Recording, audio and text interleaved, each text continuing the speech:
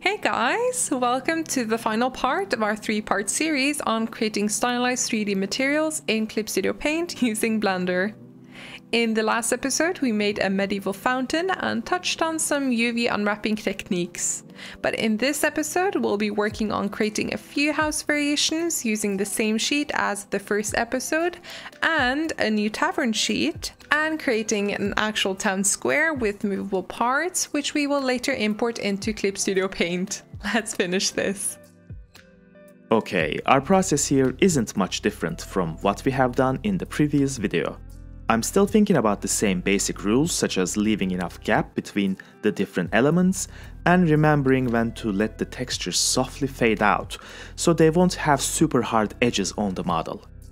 Remember to use helpful tools such as the symmetry tool whenever you need. This time, we want the building to have a sign and movable parts such as doors and shutters. You might have to draw these elements separately, so bear that in mind. In this case, I had to cut the shutter that was attached to the smaller window later on. You can also bring in textures from the previous sheet in here and reuse them. Just as a final touch, I'm adding a thick line as well, in case Christina needs this for certain parts of the geometry. And we're done with this texture sheet. Now I'll go ahead and create a separate texture for the cobblestone street. To achieve this, let's create a pattern that we can repeat seamlessly. This way we can add this to our material library and reuse it in the future or share it with the community if you want to. Let's open a new Square document that is at least 2000 pixels in resolution. To make the whole process easier, let's also turn on the grid. Usually the default grid that shows up is way too fine, so we'll have to adjust that. Go to View, Grid Ruler Bar Settings and adjust the numbers there. I ended up setting gap to 600 pixels and divisions to 1. Now I go ahead and start drawing the cobblestone texture that is going to be repeated. The grid that I set up really helps me out when it comes to lining up the edges. I take my time to add some textures and get some bold line work that will read well. Be careful not to leave really small shapes and details on the edges as these might prove to be difficult to match when this pattern is repeating. Once I'm happy with what I got, I right click the layer and select Convert Layer. Go to Type and select Image Material Layer. Under Operation, select Object Subtool. In the Tool Property window, check the box next to Tiling. Now when you move your layer around, you'll see Clip Studio Paint is already tiling it. But our design is still not quite seamless, so let's move the center point until it perfectly matches a corner like this. Zoom in real close if you have to to make sure it's lined up perfectly. Now you can see right away where the gaps and mismatching areas are. To fix these, we'll have to rasterize this layer, so let's right click on it and select rasterize. Now we can draw and paint on this layer again. I'm going to make the necessary changes now so it all matches seamlessly. You can always convert this layer again to an image material layer and move it around to check how it's looking. Once you're happy with the result, make sure it's converted to image material layer and then go to Window, Material and select Material Color Pattern. This will open the color pattern window of your material library. Change the name of your layer accordingly if you haven't already done it, and then just drag it into the color pattern window and now it's added to your library. Pretty cool, huh? Whenever you need to use this pattern, all you have to do is drag and drop it into your scene. For our texture sheet, I'm going to do that, adjust its scale, and then rasterize the layer so I can draw over it. My aim here is to hide the repetitiveness of the texture a little. I erase some of the information, add some extra cracks and vegetation that might be growing between the stones, and then I'm done. Both reference sheets are ready now, so let's head over to Christina's part. You should be familiar with this workflow by now. If you aren't, please go watch the first two videos before this one. Using the same techniques as last time, I actually created a few new house variations by reusing the same reference sheet as the first episode. Our next building, however, is going to be a little bit different. For this tavern, we want some unique design elements to it, like a window flower bed, window shutters, a sign, and so on. Although this is a model comprised of different parts, they all share the same texture file, which is this reference sheet. The ground itself is fairly simple. Since it's tileable, we can go into the top orthographic view and choose project from view. Then we can shift D, copy this around and just kind of expand the tileable textures. Once we've put all the models together in the Blender scene, notice that I've duplicated a lot of the same buildings to fill out our town square, we get something like this. Now some parts we want to move like the window shutters and the doors to the tavern.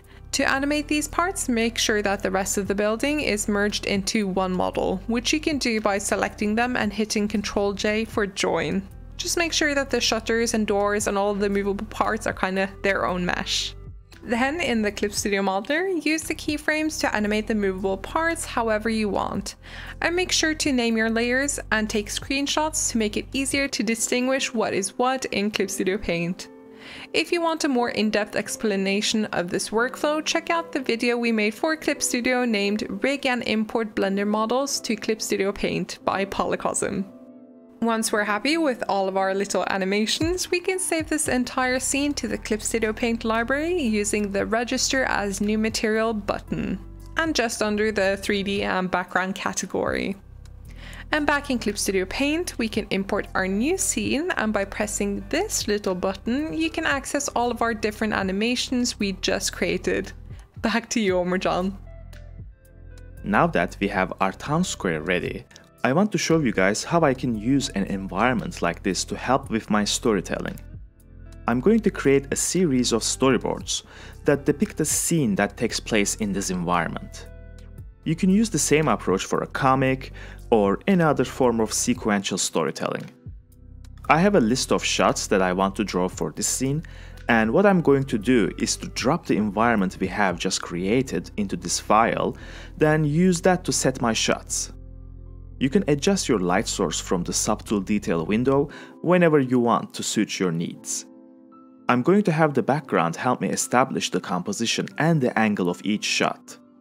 Then all I have to do is sketch all of the elements quickly, then once I'm done with it, I'll create a new layer and move on to the next shot. We also have some movable parts in this environment, which you can access by clicking this icon here. You can also add some 3D figures into the scene if you need help with the scale. Of course you can go as far as posing them for reference if you like, but for my purposes I just need the figure in there for scale. Make sure you adjust the height of the figure so it's in proportion to the environment. Remember to uncheck the box next to adjust head to body ratio with height to make sure you are not turning the figure into a child. Well, I mean unless you do need a child size figure of course. Alright, I'm happy with the size of our figure, so I'm going to place it where my characters are going to be and set my camera.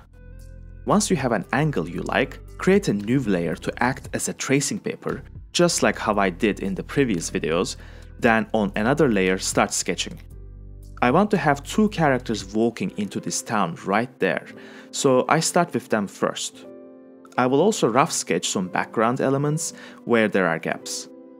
Remember to use the built-in perspective ruler that comes with your environment material. When I need to draw another character, I just move the figure around to help me with the scale and go back to sketching. I go over my sketches with a cleaner line art, then block their silhouettes in just below that layer. I'm going to quickly indicate some background and the sky. I have also duplicated the environment, then rasterized the copy to keep that as my background. It helps to drop the opacity on this layer a little, so the characters stand out more. Once I'm happy with this frame, I group all the layers together, then move on to the next shot. I set my camera, bring in the figure for scale, then start drawing. My process for each individual shot is going to be pretty much exactly the same from this point on. For this frame, I can make use of the movable parts we've added to the tavern. I want these guys to open the door and step in, so all I have to do is click on this icon here and get the list of movable parts and just drag the slider to open and close the door. And here's the finished sequence. Let's go through the panels one by one.